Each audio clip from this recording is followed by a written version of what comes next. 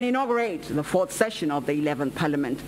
Ekuthi thoba lokhulu hlangalweze ngicela im- iphefumulele iparlamente phefumulele live phefumulele nemhlaba kulesicephu sesine kuyo iparlamente yelishumi nakunye.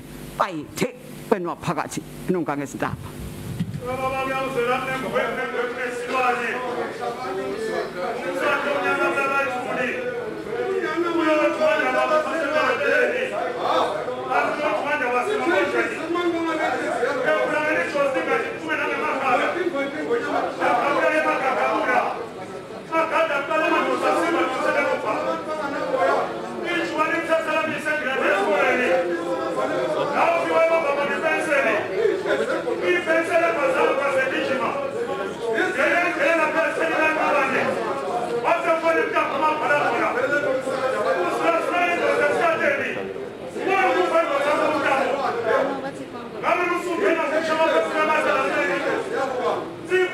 Amen.